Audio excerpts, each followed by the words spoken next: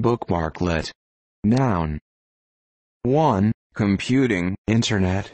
A small piece of JavaScript code stored as a URL within a bookmark.